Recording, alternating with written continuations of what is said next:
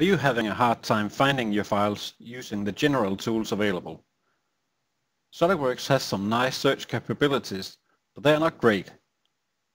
There are decent previews and occasionally we get thumbnails in the search result, but overall a bit limited. Let me introduce you for your new best friend, the powerful Custom Tools search. Use the powerful free search option to search for any property in your files, or make a more specific search combining phrases in your specific properties to narrow down your search results.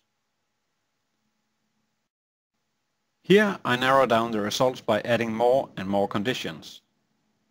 The results window updates with lightning speed and include a preview image of the selected file. When the file is found, use a number of tools to proceed. You can delete files, open in SOLIDWORKS, open the related drawing, or even navigate to the file in Windows Explorer. You can use the where used to see where the file is being referenced. If you need to export the file to Excel for instance, go ahead. You do not even have to open the file in SOLIDWORKS first.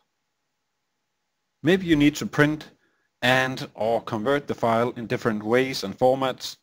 You do not need to open the file first. Start the task with limited time waste, we do the work for you. Maybe you just need to open the file. Just hit OK or drag and drop the file into SOLIDWORKS window. We can even build assemblies by adding files from the search window. I told you, your new best friend, the powerful custom tool search. We are in the life-saving business. We kill your routines before they kill you.